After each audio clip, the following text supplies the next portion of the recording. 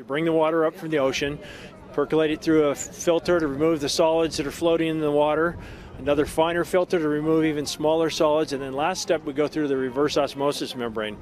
Mi- microscopic pores separate salt and water, so the pores are just large enough to let water go through. Salt's a little bigger, can't get through. So every two gallons of seawater that go into the plant, we produce one gallon of fresh water, one gallon of double salty water that goes back to the ocean, gets diluted on the way out of the plant so it doesn't harm the marine environment, and that's all it takes.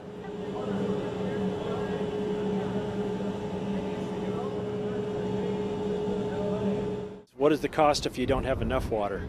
If you squeeze the supply down to the point where you're, you're cutting back business production, if you're uh, losing historic investment in property, th- th- those are those are things that you'll never recover from.